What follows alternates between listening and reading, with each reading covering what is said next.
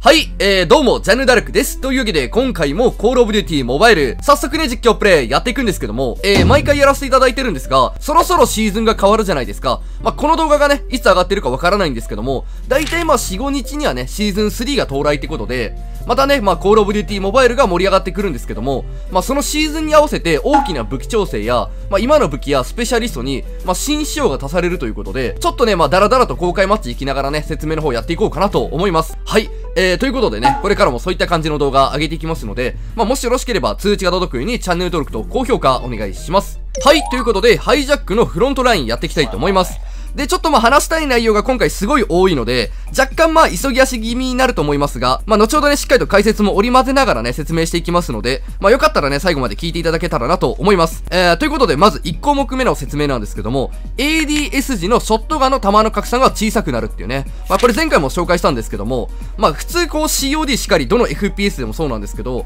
もうこう構えた時の方が弾のこう凝縮ってあるじゃないですか。まあショットガンでこう散らばると思うんですけど、構えた時の方がこうギュッてこう縮まるから、あの、いっぱいこうね、散らばった弾が当たるんで、まあ、威力が大きくなるっていうのがあると思うんですけども、そちらがね、COD モバイルだとほぼないに近かったんで、えー、それがまあしっかりと強化が入るみたいです。まあ、いわゆるショットガンの威力強化ですね。だから今後ともショットガン反射は多いなって思ったら構えて使って当てるとすごいまあワンショットワンキルが持っていける、まあ、ストレスフリーな、えー、近距離最強武器になるっていうのが一応まあ公式の見解らしいです。はい。まあ、どれぐらいそれがね強化入るかわかんないんですけども、まあ、とりあえず構えた時の方が強くなるみたいなんでぜひぜひ皆さん今後ともね構えてみていただけたらなとはい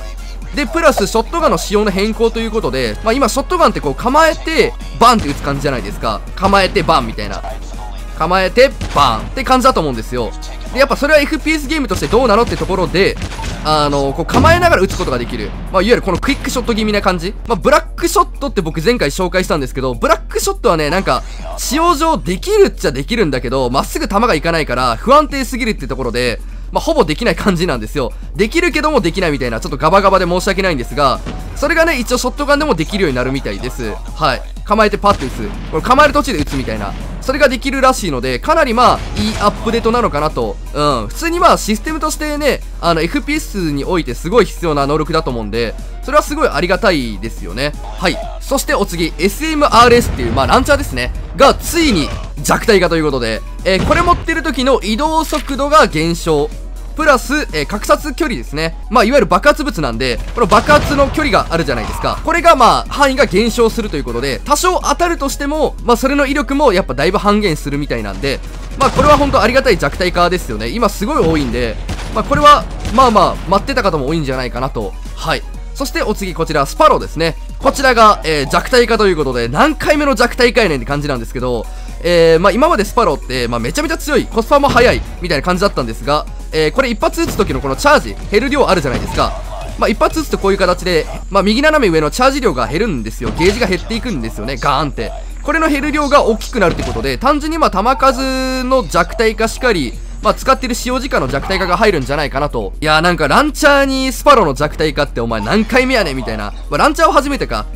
なんですけど、まあ、爆発物がね、今すごい多い環境なので、まあ、とりあえずまあ、ありがたいっちゃありがたいけど、スパローはちょっと弱体化しすぎなのかなとは思います。まあ、スパロー弱体化よりも他のスペシャリスト強化でも全然ありなのかなと思うんですけど、まあ、弱体化ないようによりけりですよね。まあ、気持ち程度だったら全然 OK って感じです。そしてお次、タイプ25。えー、こちらがですね、グリップつけた時の、まあ、効果が、えー、減少するということで、まあ、やっぱこう、ブレがすごい大きい銃だと思うんですよ。なのでみんながこう、グリップつけるんで、そこをね、まあ、しっかりと差別化を図るために、まあ、弱体化が入るみたいです。はい。そしてお次、AK117。えー、こちらもね、すごい、あの、リコイル制御はそこまでないんだけど、レートがめちゃめちゃ速いっていうね。まあ、現状、そこそこ強いアサルトライフルの一角だと思うんですけど、えー、そちらもね、えー、グリップをつけた時の効果が減るみたいです。なんかあれですね、全体的にグリップつけた時の弱体化が多そうですよね、次回。そしてこれがね、結構でかいことなんですけども、MSMC。まあ、結構使ってる方多いですね。ランクマだと MSMC 使ってるね、ガチモサの方も多いと思うんですですけど、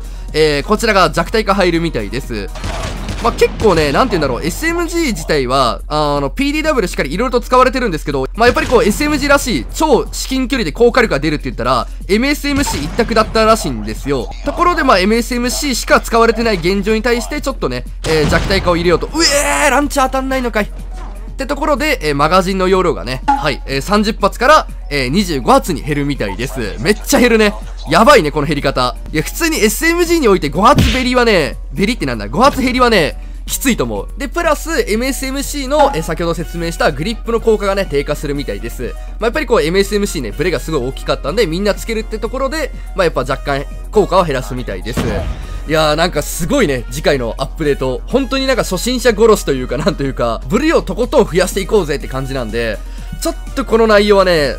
きついところはきついかなと。まあ、正直僕はあの、アークティックと AK117 しか使ってないんで、しかもグリップなししか使ってないんで、まあ、そこまでね、僕自身は関係ないところではあるんですけど、ちょっとまあまあまあまあ、やってるユーザーからしたらたまったもんじゃないところはあるんじゃないかなと。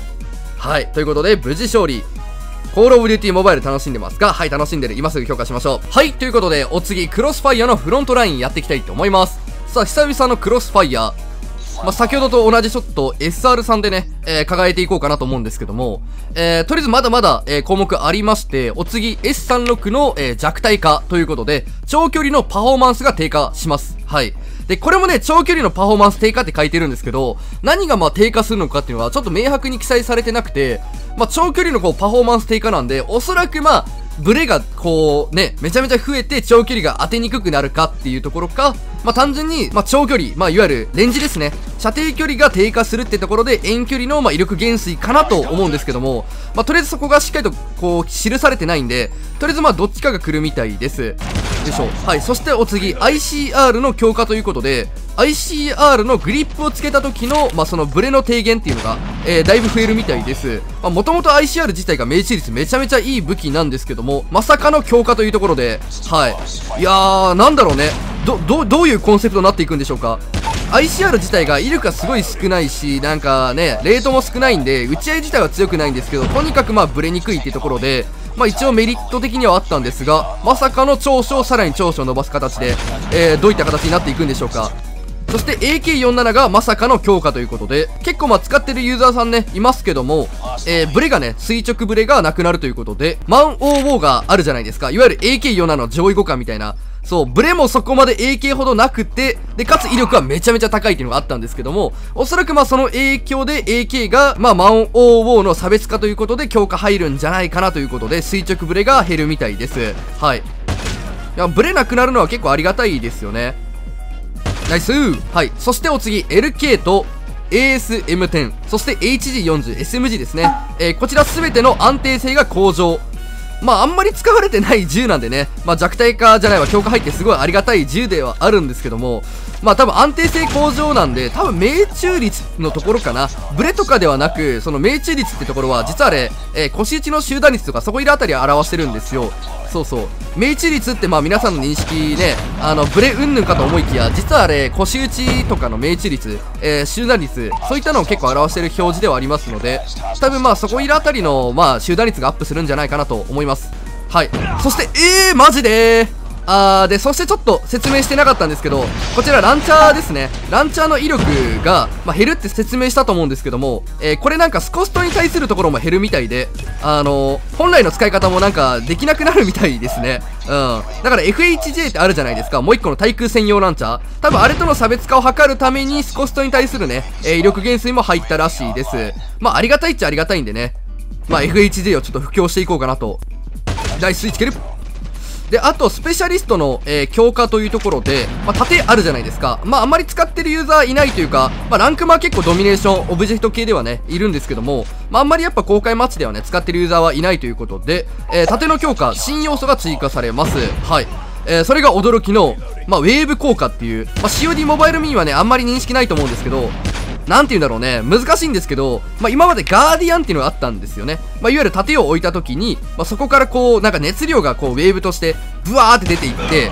で、まあ、敵のこう移動速度を遅くしたりだとか、若干こう微量なダメージを与えるから、打ち合いが強くなるしかり、そこではめ殺しができるっていうね。まあ、多分口で説明してもわかんないと思うんで、まあ、COD ガーディアンっていう風に調べていただけたら、多分わかりやすいと思うんですけども、そんな感じで熱量がこう放出されるらしいんですよ。ただ説明の仕方によっては、なんか、敵の弾丸をそらすみたいな感じのニュアンスが書いてるんですよね。わけわかんなくないですか？そう。だから、今までは人体的に効果があったんですけども、それもなんか変わるみたいで、弾だけなんかそういう熱量効果が関係あるかもしれないっていう。だからそもそも盾の後ろに隠れてたら、弾がまっすぐ弾飛んでこないから大丈夫だよ、みたいな感じが来るかもしれないらしいですね。で、そしてグラスパ使用時の体力アップ強化。まあ、グラスパーね、あの、最近追加されたんですけど、あの定誰も使ってないじゃないですか。まあ、なんでかって言ったら、使用してる時に、うおーって言ってる間に撃たれて殺されるっていうのがあったんですけども、まあ、その際ね、えー、体力アップの強化が入るみたいで、なんかアーマーを着るっぽいんですよ。はい。いや、まあ、これは結構ありがたいよね。うん。も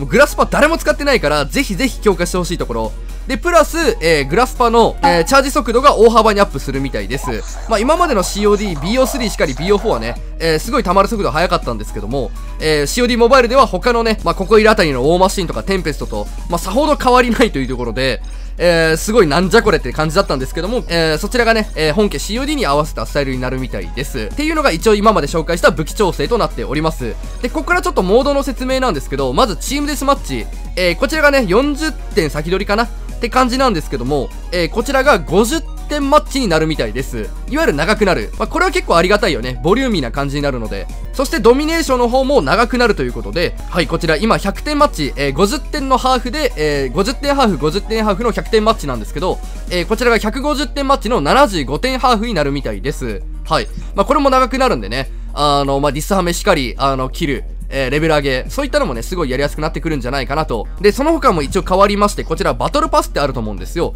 まあ、ティア製のね、えー、やつなんですが、こちらがね、まあ、無課金の方にも優しくなるっていうところで、こちら今までね、ティア100でこういう形でね、えー、かっこいい武器だとか、えー、最終的な武器のアンロックができてたんですけども、無課金税に優しくないというところで、ティアが50、半分ですね。えー、半分のここいるあたりで獲得できるみたいです。これありがたいよね。だから50まで獲得して、あとは、まあ、こういうバトルパスクレイとかね、永遠に獲得できて、無課金税でも、えー、レア武器がゲットできるチャンスが来ると。はい。だからそこまでやり込まなくても、えー、全然武器がゲットできるっていうのが次回の、えー、シーズン3から来るみたいです。はい。っていう形でね、すごい、まあ、COD モバイルさん、えー、アップデート頑張ってくれてますので、えー、今後とも注目していきたいと思います。はい。えー、ということで皆さん思うところあれば、ぜひコメントよろしくお願いします。それではご視聴ありがとうございました。